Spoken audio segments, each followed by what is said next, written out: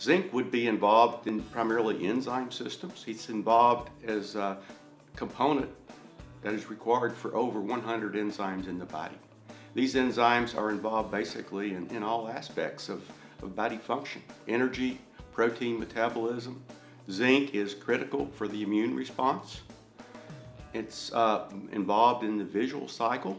It's involved in so many processes. Copper, on the other hand, is required by fewer enzymes. There we're probably looking at 10 to 15 enzymes total. But again, these enzymes are key. Copper is involved in the enzyme that uh, gives pigmentation to hair, gives it its normal color that we would see.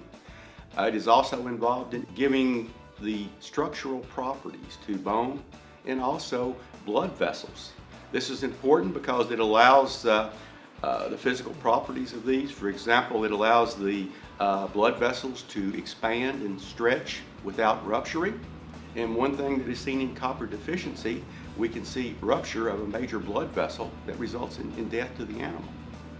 Manganese is uh, required in smaller amounts, uh, except in broilers. Broilers, uh, it's required in larger amounts than, than copper and also required in basically as large amounts as zinc.